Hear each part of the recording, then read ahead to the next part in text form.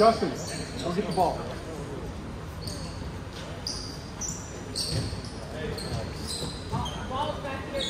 They got a second ball.